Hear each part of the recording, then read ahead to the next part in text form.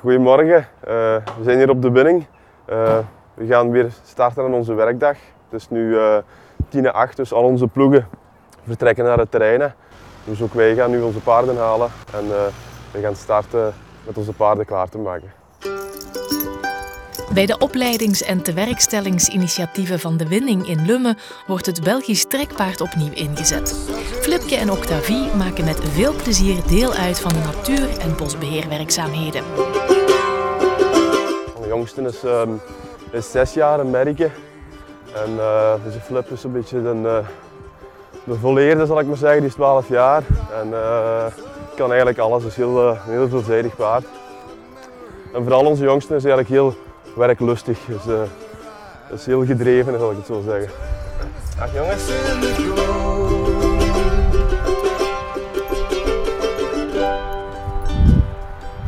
Ready?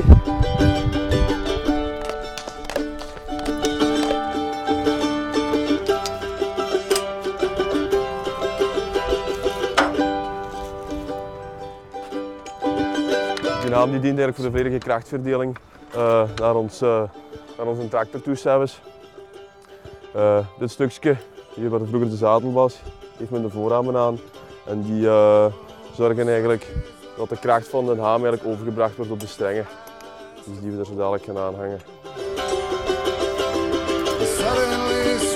De paarden zijn bijna klaar nu voor te vertrekken. Um, we gaan vandaag een klein maaiwerkje uitvoeren voor Natuurpunt Lummen.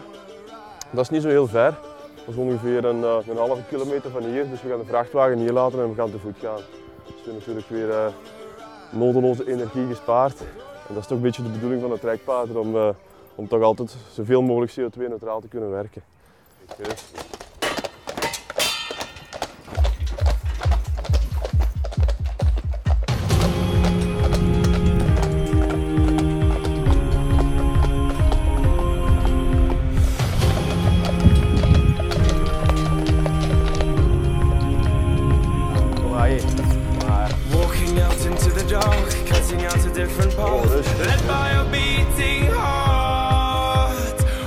De winning richt zich tot volwassenen uit kansgroepen die moeilijk aansluiting vinden met de arbeidsmarkt.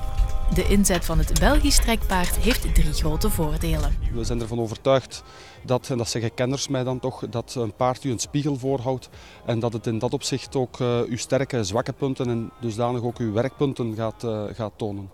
Dus daar, zeker voor onze medewerkers, is dat, uh, is dat zeer belangrijk. Het tweede deel waar wij dat we met het project Paardenkracht in het boslandschap actief willen zijn, is rond het ecologisch beheer van uh, natuur, bos en landschap. Dat is een van onze belangrijkste activiteiten binnen de winning. Het derde punt waarmee dat we willen werken met ons project is het, de toeristische meerwaarde. Dus met een trekpaard op stap gaan door de mooie Limburgse natuur heeft absoluut nog een aantal troeven die dat we naar de toekomst toe verder willen, willen uitwerken. Ik vind dat een schitterend initiatief. Ons Belgisch trekpaard was ooit ons belangrijkste exportproduct. Het stamboek bestaat sinds 1886 en uh, na de Tweede Wereldoorlog heeft de trekpaard het echt moeilijk gekregen. Om een ras in stand te houden zouden we jaarlijks 1000 veulens moeten kunnen fokken.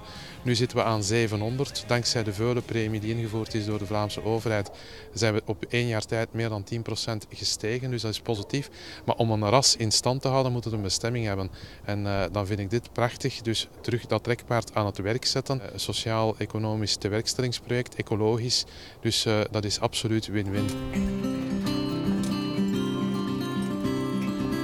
Uh, het is een droomjob. Ik ben altijd heel graag in de natuur geweest en dan ook nog graag met paarden. En om de combinatie natuurlijk in je werk te vinden is natuurlijk fantastisch. Hè. Dus uh, niet iedereen gegeven. Um, maar daarom zijn we natuurlijk ook met project Paardenkracht bezig om de afzetmarkt een beetje te vergroten van de trekpaarden. Dat misschien in de toekomst nog meer mensen uh, van deze fantastische job kunnen genieten. Hè. Ja. Opstap, opstap, opstap. We zien dat de paarden nog een klein beetje energie over hebben. En hier bij ons hier in het provinciebos hier, is, het, uh, is er met de vorige storm een zware beuk omgevallen. Dus we gaan het gebruik maken van de paarden om die er nog snel uit te halen, zodat het bos weer proper is.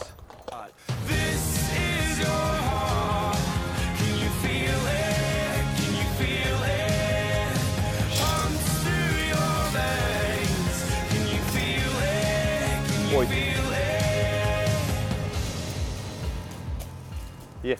Voilà, die boom is, uh, is weer volledig opgeruimd. De bos is terug weer netjes. Uh, de paarden hebben weer een dienst bewezen, dus uh, we zijn ook heel trots op hen dat ze weer zo hard kunnen werken hebben. we gaan ze nu een beetje verzorgen. Ze krijgen een lekker hapje en dan mogen ze terug op wei, mogen ze terug gaan rusten. Ja, Flipje.